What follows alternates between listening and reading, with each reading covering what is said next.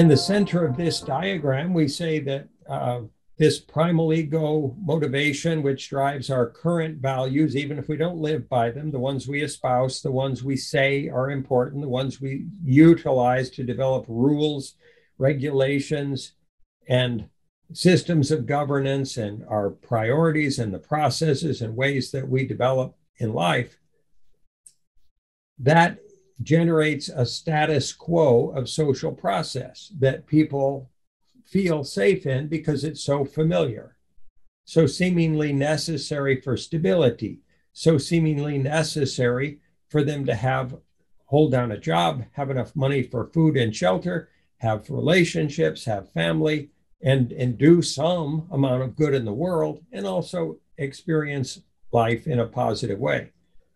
This status quo generates cultures, tradition, mindsets, beliefs, decision making criteria, and tribal developmental processes with just a smidge of evolution tossed in.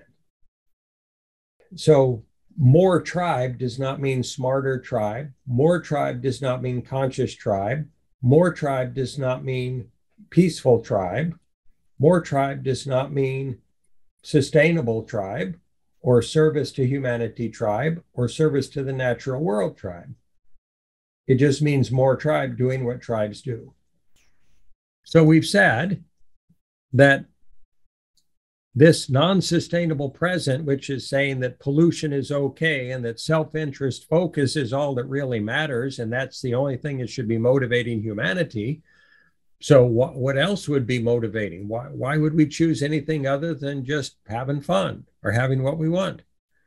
You can say, "Oh gosh, look at this poor people dying in the Ukraine," and and did you note that my my favorite TV show's on tonight? Look at these people going through horror and suffering, and gosh, what's for dinner?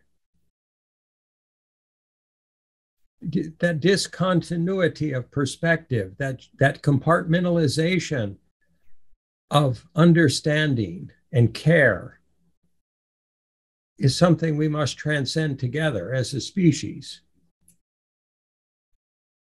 We're not suggesting not enjoying your dinner or your favorite television show. We are suggesting that turning on and off one's caring like a light switch or having it turned off by the distractions of a, a Western lifestyle is going to turn off our capacity to change the world for the better. The human process is, is fragmented.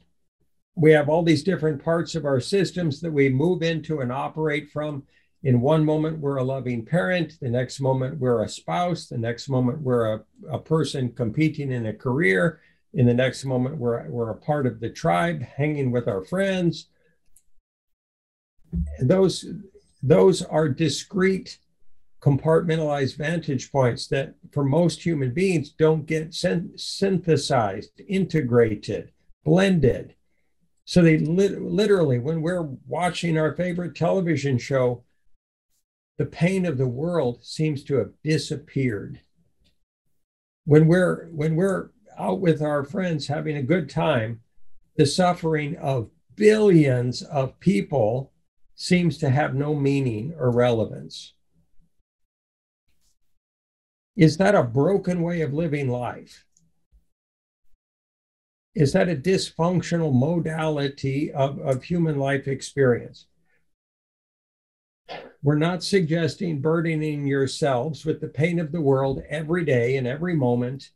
We are suggesting that having, recognizing that it's necessary to take time out for yourselves. It's necessary to recuperate, to restore, to revitalize, to heal, to meditate, to find peace in your heart amidst the tumultuousness of this world. And as long as that's a conscious choice that you that you make, it's fantastic. It's wise, it's necessary, it's vital. Otherwise, we get burned out and worn out by life. That said, for, for how many people is that process unconscious?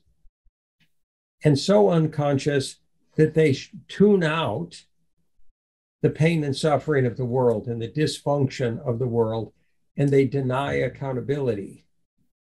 And thus, they don't take requisite action. Thus, they don't change the world for the better. Thus, the Titanic sails on to the iceberg because they did not turn on their consciousness and tune in to what was happening. That is a choice. It's a scary choice for a lot of people. It is a, a stressful choice for a lot of people.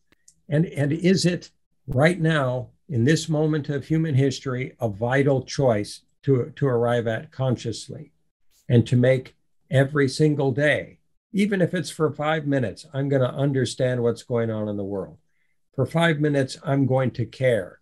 For five minutes, I'm going to unconditionally love. That's my commitment. I may only have five minutes in a day. That said, for that five minutes, I love every single person in this world, and I love the ecosystem and every plant and animal and insect in this world, at least for five minutes. And then the next day or a week later, perhaps it'll be six minutes, and then 10. And, and then it becomes possible for it to be an all day thing for the rest of your lives if you want that, if you choose that. And the question is if you do make such a choice, without guilt, without shame, without self criticism, without self pressurization, without forcing yourself mercilessly and ruthlessly to care, without being harsh with yourself, being loving and gentle and kind to yourself. If you find the capacity to meet the world with love and peace and compassion and kindness for just a little while per day, will it be a better world?